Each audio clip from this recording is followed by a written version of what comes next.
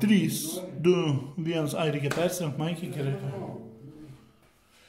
Oh.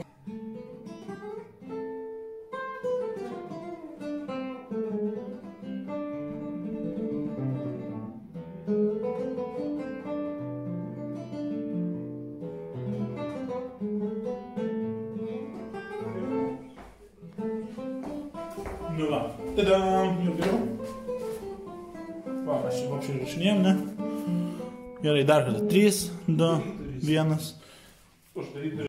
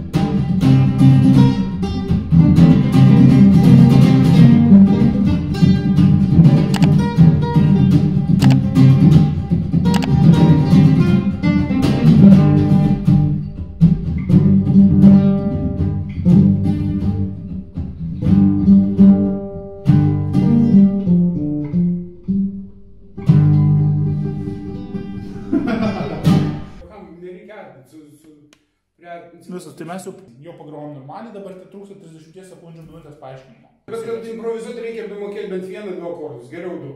Šiuo atveju mes su tomu panaudojom G ir C akordus. Dar geriau G7 ir C7.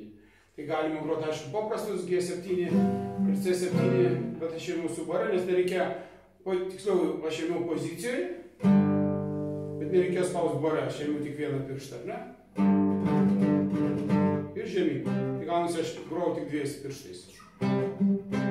Ir šiuo atveju gausi lengviau negu pirmoji pozicija akordai.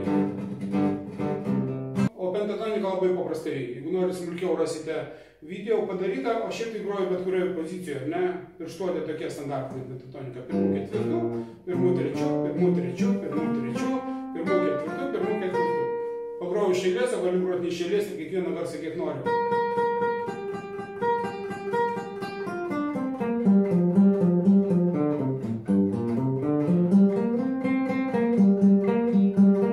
Smulkiau apie pentatoniką, Gintaras yra padaręs visą pamoką turinę kanale. Taip pat kviečiame registruotis pamokas, visos nuorodos bus video aprašyme apačioje.